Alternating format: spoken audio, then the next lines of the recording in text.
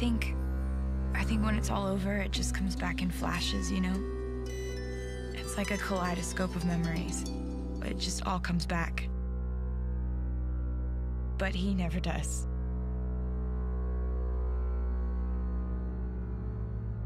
I think part of me knew the second I saw him that this would happen.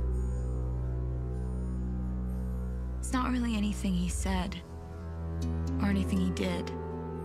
It was the feeling that came along with it. And crazy thing is, I don't know if I'm ever gonna feel that way again.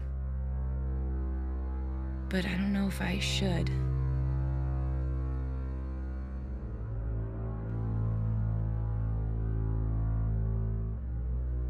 I knew his world moved too fast and burned too bright. But I just thought, how can the devil be pulling you towards someone who looks so much like an angel when he smiles at you?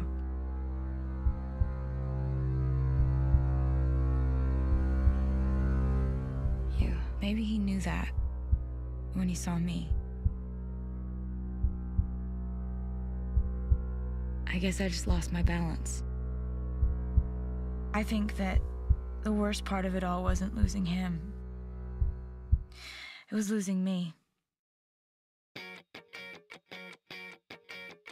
Once upon a time, a few mistakes ago, I was in your sights.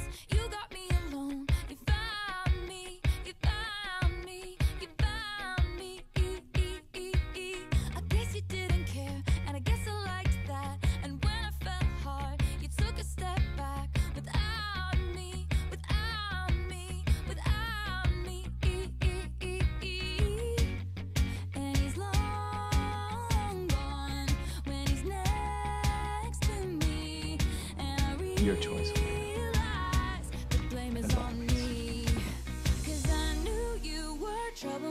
walked in. So shame on me now. Flew me to places I've never been.